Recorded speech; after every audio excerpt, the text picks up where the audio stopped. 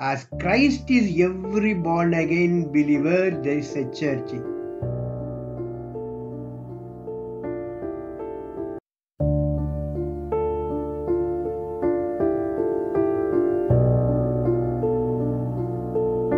நமது ஆண்டவராகிய இயேசு கிறிஸ்து நாமத்தில் உங்களுக்கு என்னுடைய அன்பான வாழ்த்துக்கள் என்னுடைய செய்திகளை தொடர்ந்து கேட்கிற உங்களுக்கு என்னுடைய நன்றியை உரித்தாக்குகிறேன் கடந்த பதிவுகளில் நாம் தியானித்த கார் என்னவென்றால் உபதேசம் என்றால் என்ன? அது எப்படி கட்டப்பட வேண்டும்? எவைகள் வேதத்தில் காணப்படுகின்ற அடிப்படையான உபதேசங்கள்? ஒரு உபதேசம் என்று சொல்வதற்கு என்ன மூலக்கூறுகள் இருக்க வேண்டும் என்பதை குறித்தும் பின்பு வாட் இஸ் த டாக்டரின் ஆஃப் ரெவலேஷன் வெளிப்படுத்தலை பற்றிய உபதேசம் என்றால் என்ன?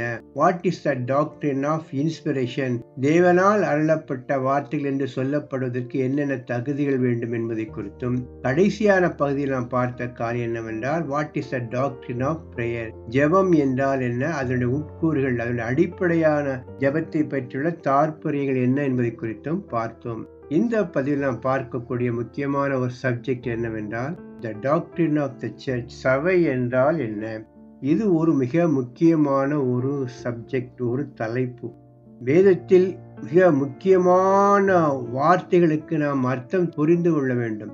ரட்சிப்பு மனந்திரும்புதல் இரண்டாவது வருகை ரகசிய வருகை இப்படி பலவிதமான வார்த்தைகளுக்கு அதனுடைய உண்மையான அர்த்தத்தை புரிந்து கொண்டால்தான் நாம் பல்வேறு உபதேச கோளாறுகளிலிருந்து நாம் தப்பித்து கொள்ள முடியும். அந்த வார்த்தை குறித்துள்ள சரியான புரிதல் நமக்கு இல்லாவிட்டால் எல்லோருடைய கருத்துக்களும் ஏற்றுக்கொண்டு நாம் வழிவிலகி போய்விடுவோம். அப்படி இருக்கும் பொழுது சபை என்கிற வார்த்தை மிக மிக முக்கியமான ஒரு வார்த்தை. புதிய ஏற்பாட்டில் மட்டும் நூற்றுக்கு மேற்பட்ட இடங்களில் அந்த வார்த்தை வருகிறது. நான் சபைக்கு போகிறேன் என்று சொல்கிறார்கள். சபையை எடுத்து விட்டார்கள் என்று சொல்கிறார்கள். சபை சபை என்று சொல்லப்பட்ட அந்த வார்த்தை அந்த வார்த்தையோட உண்மையான அர்த்தம் என்ன? What is the meaning of the church சபை என்று வேதத்தில் எதை குறிப்பிடப்பட்டுள்ளது? சபை என்றால் என்ன? என்பதை பற்றியுள்ள சில ஃபண்டமெண்டல் புரிதல் நமக்கு வேண்டும். வேதத்தில் சபை என்று எதை குறித்து சொல்லப்பட்டிருக்கிறது என்பதை நாம் அடிப்படையாக புரிந்து கொண்டால்தான் எது சபை? சபை என்றால் என்ன என்கிற புரிதல் ஒவ்வொரு கிறிஸ்தவனுக்கும் ஒரு தேவையான ஒன்று. கத்தோலிக்க மார்க்கத்தா சபை என்றால் என்ன என்பதை குறித்து அவர்கள் ஒரு விதமான விளக்கத்தை கொடுக்கிறார்கள். ப்ராட்டஸ்டன்ட் சர்ச்சஸ் வந்து சபை என்றால் என்பதற்கு அவர்கள் ஒரு விதமான விளக்கத்தை கொடுக்கிறார்கள். பெந்துக்கு சபையில் சபை என்றால் என்பதற்கு அவர்கள் ஒரு விதமான விளக்கத்தை கொடுக்கிறார்கள். இப்படி சபையை குறித்து ஒவ்வொருவரும் தங்களுடைய அறிந்த சத்தியத்தின் அடிப்படையில் சபை என்பதை குறித்து விளக்குகிறார்கள். ஆனால் சபை என்றால் என்ன என்பதை குறித்துள்ள சில அடிப்படை புரிதல்களை இந்த பதிவில் உங்களோடு பகிர்ந்து கொள்கிறேன். இது வந்து யாரையும் காயப்படுத்துவதாக இல்லை. வேதத்தின் அடிப்படையில் நான் புரிந்து கொண்ட சத்தியத்தை உங்களுக்கு விளக்குகிறேன். இது இரண்டு மூன்று பகுதிகளாக வரும்.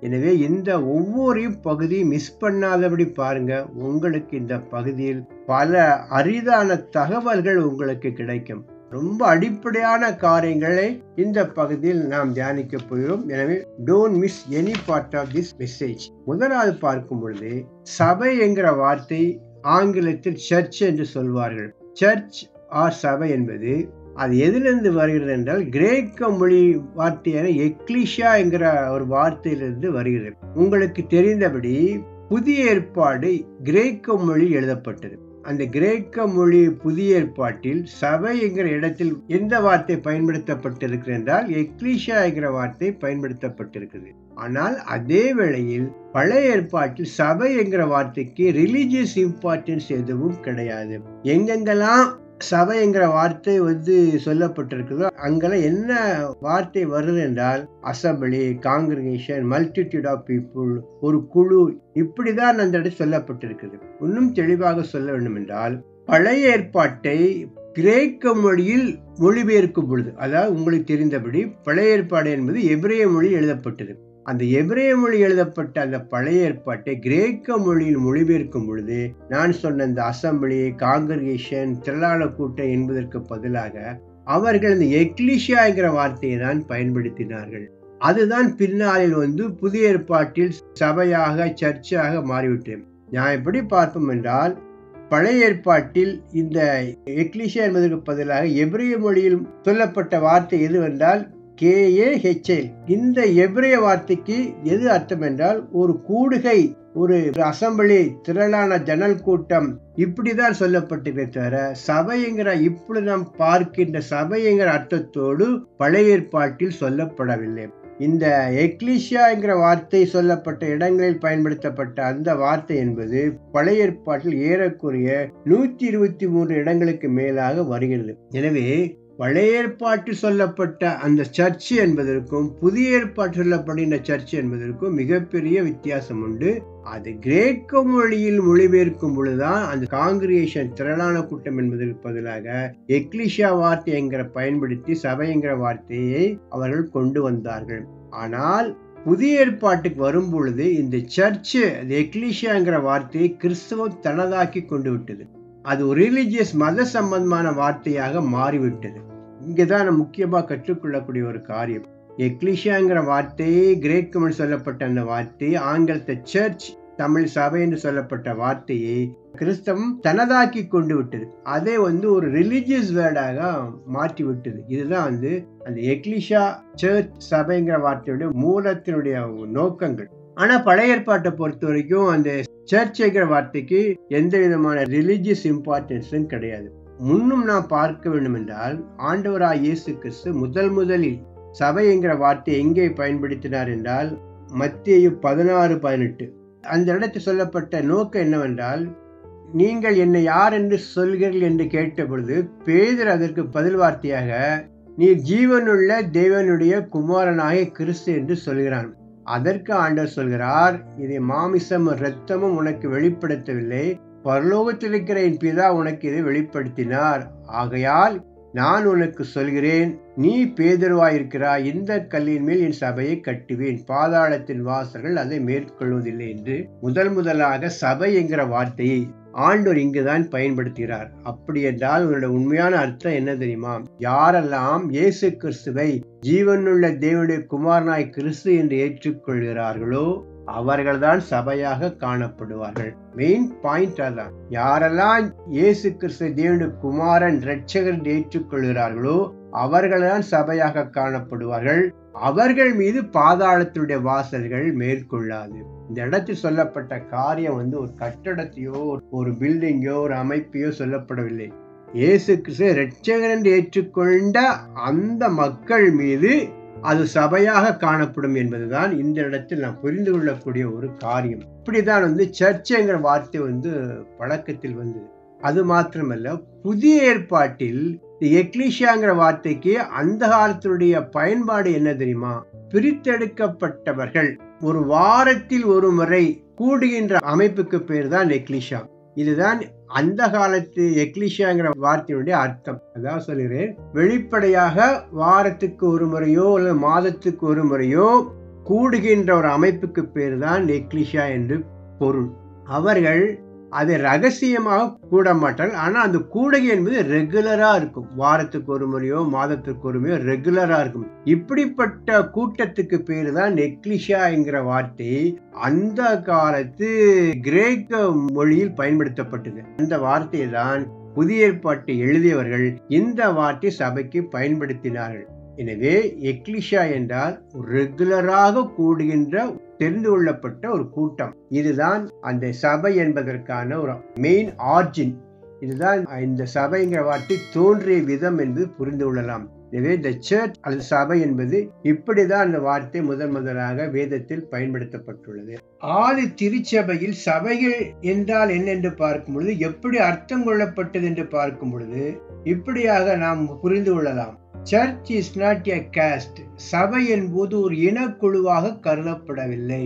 அப்படி என்றால் என்ன என்று பார்க்கும் பொழுது மங்கோலியர்கள் தமிழர்கள் மலையாளிகள் நீக்ரோஸ் பல வகையான கிரேக்கர்கள் என்று ஒரு இனக்குழுவாக சபை கருதப்படவில்லை. எல்லா இனத்தில் உள்ள மக்களை இணைத்து அவர்களை ராஜாக்களும் ஆசாரியர்களும் அதாவது மத குருக்களாக மாற்றுகின்ற ஒரு அமைப்பாகத்தான் சபை காணப்பட்டது. சபை அர்த்தம் கொள்ளப்பட்டது. அது வந்து ஒரு காஸ்ட் அல்ல ஒரு இனக்குழு அல்ல. அடுத்த சபை என்பது ஒரு ரகசிய குழுவும் அல்ல. It is not a secret society வெளியரங்கமாக வாரத்தில் முதல் நாள் கூடுகின்ற ஒரு அமைப்பாக காணப்பட்டது. அதே வேளையில் அது ஒரு தேசமும் அல்ல. It is not a nation இந்தியர்களுக்குன்னு ஒரு சபை கிரேக்கர்களுக்கு என்று ஒரு சபை சீனா மக்களுக்கு என்று ஒரு சபை என்று ஒரு எந்த தேசத்திற்கும் உரிய சபையாக காணப்படவில்லை. சைனா இந்தியா ரோம் என்று சொல்லப்படுகின்ற ஒரு தேசத்திற்குள்ள ஒரு சபையாக காணப்படவில்லை.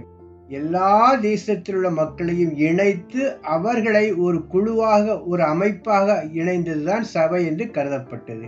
அது ஒரு குடும்பமும் அல்ல. சபை என்றால் ஒரு தகப்பன் தாய் மகன் பிள்ளை மருமகன் மருமகள் பேரன் பேத்தி என்று அது ஒரு குழுவாக காணப்பட்டதாக சொல்லப்பட முடியாது. அதே சமயத்தில் எல்லாரையும் சகோதர சகோதரிகளாக இணைக்கின்ற ஒரு குடும்ப பிணைப்போடு காணப்பட்டதுதான் சபை. Church is not a caste church is not a secret society church is not a nation church is not a family இப்படிதான் ஆதி திருச்சபையில் சபை என்றால் என்ன என்று புரிந்து கொள்ளப்பட்டது. இன்னும் தெளிவாக சொல்ல வேண்டும் என்றால் சபை என்கிற வார்த்தை என்பது as Christ is in every born again believer is a church ஒவ்வொருவருடைய உள்ளத்திலும் இயேசு கிறிஸ்து இருப்பதால் அவரே சபையாக காணப்படுகின்றார். சபை என்பது எங்கோ ஒரு கூடுகின்ற கூடுகை மாத்திரமல்ல ஒவ்வொரு விசுவாசியுமே ஒரு சபையாக கருதப்படுகின்றார். இதுதான் ஆதி திருச்சபையில சபை என்கிற வார்த்தைக்கான புரிதல். இந்த புரிதல் இன்றைக்கு நமக்கு மிகவும் அவசியம். As Christ is every born again believer there is a church. எங்கெல்லாம் ஒரு விசுவாசி இருக்கிறானோ அவனிடத்தில் இயேசு கிறிஸ்து இருக்கிறார் அவரே சபையாக காணப்படுகின்றான். இதுதான் ஆதி திருச்சபை சபையினுடைய பரிணாம வளர்ச்சியில முதல் ஸ்டேஜ் முக்கியமான ஸ்டேஜ் இதை நாம் புரிந்து கொள்ள வேண்டும். ஜோசப் ஆக்னஸ் என்கிற ஒரு மிகப்பெரிய வேத பண்டிதர் சபையை பற்றி இப்படி எழுதுகிறார் church is a divine institution combine the advantage of every form of society into which we been gathered அது ஏதோ ஒரு அரசியல் அமைப்போ ஒரு மனிதனால் ஏற்படுத்தப்பட்ட அமைப்போ இல்லை அது ஒரு டிவைன் இன்ஸ்டியூஷன் இதுதான் நாம் புரிந்து கொள்ளக்கூடிய ஒரு காரியம். கண்ணால் புலப்படாத கண்ணுக்கு தெரியாத ஒரு டிவைன் இன்ஸ்டிடியூஷனாக சபை என்பது ஆதி திருச்சபை காலத்தில் அர்த்தம் கொள்ளப்பட்டது. அது டிவைன் இன்ஸ்டிடியூஷனை யாரும் பார்க்க முடியாது. ஒரு விசிபிள் இன்ஸ்டிடியூஷனா சபை அங்க இருக்குன்னு சொல்லலாம். ஆனா it is a divine institution இந்த ஒரு கருத்து சிந்தை நமக்கு மிகவும் அவசியம். அடுத்ததாக நாம் பார்க்கும் பொழுது சபையை இரண்டு வகை கண்ணோட்டத்தில் பார்க்கலாம். ஒன்று என்னன்னா பார்க்கக்கூடிய சபை கண்ணுக்கு புலப்படாத சபை. Visible church and invisible church. Invisible church is a church that god sees. தேவன் மட்டுமே பார்க்கக்கூடிய ஒரு சபைதான் இன்விசிபிள் சர்ச் பூமியில் உள்ள மனிதர்கள் பார்க்கக்கூடிய சபை என்பது விசிபிள் சர்ச் இதுக்கு ரெண்டுக்குமே வேதத்தில் ஆதாரம் உள்ளது. கண்ணுக்கு புலப்படாத சபை என்றால் என்னென்று பார்க்கும் பொழுது எபிரேயர் பன்னெண்டு இருபத்தி ரெண்டு இருபத்தி மூணு எபேசியர் ஒன்னு இருபத்தி இருபத்தி ரெண்டு கொலோசியர் ஒன்றாவது அதிகாரம் பதினெட்டு இருபத்தி நான்கு இந்த வசனங்களை பார்க்கும் பொழுது தேவன் மட்டுமே பார்க்கக்கூடிய ஒரு அமைப்பை குறித்து இதனுடைய ஆசிரியர் சொல்வார் எப்படி என்றால் எபிரியர் பன்னெண்டு இருபத்தி ரெண்டு இருபத்தி மூணுல பார்க்கும் பொழுது ஒரு சபையை குறித்து சொல்லும் போது நீங்கள் சியோன் மலையினிடத்திற்கும் ஜீவனுள்ள நகரமாகிய பரம எருசலேமுக்கும் வந்து சேர்ந்தல் என்று ஒரு அமைப்பை குறித்து சபையை குறித்து ஒரு பிக்சரை கொடுப்பார். இது வந்து தேவன் மட்டுமே பார்க்கக்கூடிய ஒரு அமைப்பாக காணப்படுகிறது. அடுத்ததுல வந்து எபேஸ் அஞ்சு இருபத்தி மூணுல பார்க்கும் பொழுது கிறிஸ்து சபைக்கு தலையா இருக்கிறது போல புருஷனும் மனைவிக்கு தலையா இருக்கிறான். இந்த இடத்துல பார்க்கும் பொழுது இந்த சபையை குறித்து நாம் பார்க்க முடியாது.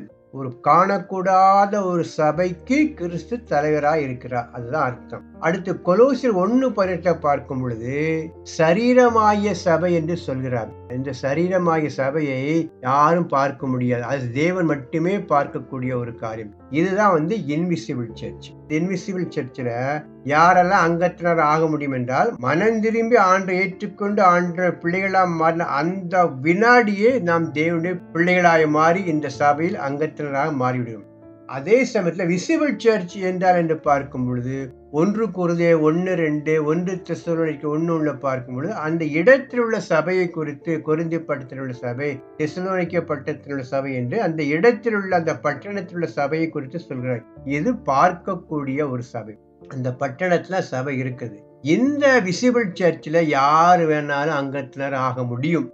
மனம் திரும்பியவர்களும் மனம் திரும்பாதவர்களும் கூட அதுல அங்கத்தினர் ஆகலாம். நம்முடைய முக்கியமான ஒரு பாரம் காணக்கூடாத சபையில் அங்கத்தினர் இருக்கிற அத்தனை பேரும் தான் இந்த விசிபிள் சர்ச்சில் அங்கத்தினர் ஆக வேண்டும். ஆனா அப்படி பிராக்டிக்கலா அப்படி கிடையாது. அடுத்ததாக பார்க்கும் பொழுது local church and universal church local சர்ச்னா ஒரு இடத்துல ஒரு வீட்டில் இருக்கிற சபையை தான் லோக்கல் சர்ச் என்று சொல்வார்கள். ரோமர் பதினாறு அஞ்சுல ஹவுஸ் சர்ச்சை பத்தி பவுல் எழுதுவாரு. அப்புறம் அப்போசல் நடவடிக்கைகள் ஒன்பது முப்பத்தொன்னுல சொல்லும்போது யூதேயா கலிலியா சமாரியா தேசத்துல எல்லா சபைகளுக்கும் சமாதானம் பெருகட்டும் என்று லூக்க எழுதுவார். இதெல்லாம் பார்க்கும் பொழுது ஒரு இடத்தில் உள்ள அந்த லோக்கலோட சபையை குறித்து எழுதுகிற காரியம். அதே சமயத்துல யூனிவர்சல் சர்ச் என்றால் என்னென்று பார்க்கும் பொழுது ஒன்று குறைந்த பன்னெண்டு இருபத்தி எட்டுல பார்க்கும் பொழுது சபைக்கு தேவன் வரங்களை கொடுத்திருக்கிறார் என்று சொல்லும் பொழுது தேவனானவர் சபையிலே முதலாவது அப்போஸ்தலரையும் இரண்டாவது தீர்க்க தரிசனம் என்று சொல்லிக்கொண்டு சபைக்கு என்னென்ன வரங்களை எல்லாம் கொடுத்திருக்கிறார் என்று ஒரு பட்டியலிடுகிறார் இந்த சபை என்பது ஒரு யூனிவர்சல் சர்ச் உலகத்தில் உள்ள எல்லா சபைகளுக்கும் பொதுவாக தேவன் இந்த அமைப்பை ஏற்படுத்தி கொடுத்திருக்கிறார் என்பது பவுலுடைய ஒரு கருத்து. இதை தான் யூனிவர்சல் சர்ச் என்று சொல்வார்கள். எனவே இப்படி பிரிச்சு பார்த்தா நமக்கு சபையினுடைய முக்கியத்துவம் அதனுடைய இம்பார்ட்டன்ட் எதை ஏற்றுக்கொள்ளணும் எதற்கு மதிப்பு கொடுக்கணும் எதை அங்கீகரிக்கணுங்கிற சிந்தை நமக்கு உருவாகும். ஒரு குறுகிய மனப்பான்மை நமக்கு ஏற்படாது. அடுத்ததா பார்க்கும் பொழுது சபையை குறித்து ஏகப்பட்ட பெயர்கள் காணப்படுகின்றது. சர்ச் என்று சொன்னால் கூட அந்த சர்ச்சை குறித்து பலவிதமான பெயர்களால் இந்த சபை அழைக்கப்படுகிறது. பாடி ஆஃப் கிரைஸ்ட் சரீரமாகிய சபை. எபேசர் ஒன்று இருபத்தி ரெண்டு பிரைட் ஆஃப் த சர்ச் கிறிஸ்துவின் மணவாட்டி எபேசர் அஞ்சு முப்பத்தி ஒன்று ஹவுஸ் ஆஃப் காட் ஒன்று தீமத்து மூணு பதினஞ்சு. கடவுளின் உறைவிடம் ஹேபிடேஷன் ஆஃப் காட் எபேசியர் ரெண்டு இருபத்தி ரெண்டு தேவனுடைய மாளிகை ஒன்று குருந்தியர் மூணு ஒம்பது. தி டெம்பிள் ஆஃப் காட் தேவனுடைய ஆலயம். ஒன்று குருந்த மூன்று பதினாறு பதினேழு. The temple of living God ஜீவனுள்ள தேவனுடைய ஆலயம் என்று ரெண்டு குருந்தியர் ஆறு பதினாறு. சியோன் மலை என்று எவரியர் பன்னெண்டு இருபத்தி ரெண்டு புதிய எரிசிலம் என்று வெளிப்படுத்தல் இருபத்தி ஒன்னு ரெண்டு. பரம எரிசிலம் என்று கலாத்தர் நாலு இருபத்தி நாலு. ஆவிக்குரிய சபை என்று ஒன்று ரெண்டு அஞ்சு சர்ச் ஆஃப் காட் என்று தேவனுடைய சபை என்று அப்போசர் நடவடிக்கைகள் இருபது இருபத்தி எட்டு the church of living God ஒன்று தீமுத்து மூன்று பதினஞ்சு. The church of first born முதற் பேராவுடைய சங்கமம் என்று எபிரியர் பன்னெண்டு இருபத்தி மூணு. இப்படி சபை என்பது பல்வேறு பெயர்களில் அழைக்கப்பட்டிருக்கிறது. இவை எல்லாம் மொத்தமாகத்தான் சபை என்றால் என்ன என்று பார்க்க வேண்டும். ஒரு குறிப்பிட்ட ஒரு கண்ணோட்டத்தோடு கூட நாம் இதை பார்க்கக்கூடாது சபைங்கிற கான்செப்ட் மிகப்பெரிய ஒரு கான்செப்ட் அதனால இந்த பகுதியில் நான் பார்த்த காரியங்கள் ஒரு பேசிக் திங்ஸ் இந்த இடத்துல ஒரு குறிப்பிட்ட காரியத்தை சொல்ல விரும்புகிறேன்.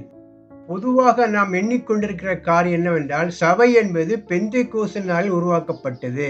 அல்லது ஏதேன் தோட்டத்தில் அதனுடைய ஆரியன் ஏற்பட்டு விட்டது என்றெல்லாம் சொல்வார்கள். அது அப்படி இல்லை. சபை என்பது பெந்தை கூசை விட பழமையானது அது வேதத்தை விட பழமையானது இந்த உலகத்தை விட பழமையானது. இதை பற்றி ஒரு ஆசிரியர் இப்படி எழுதுகிறார். It is older than Pentecost older than the Bible older than the world அப்படின்னு சொல்லிவிட்டு சர்ச் எங்கே ஆரம்பித்தது என்பதை குறித்து தெளிவாக சொல்கிறார். இதை பற்றியுள்ள தெளிவான விளக்கங்களை வருகின்ற பகுதியில் பார்க்கலாம். செய்து உங்களுக்கு பிடித்திருக்கும் என்றால் நீங்க கமெண்ட் பண்ணுங்க. எளியோர் இந்த சின்ன ஊழியத்திற்காக ஜெபிக்கும்படியாக உங்களை அன்போடு கேட்டுக்கொள்கிறேன். கர்த்ததாமே மகிமைப்படுவாராக. ஆமேன்.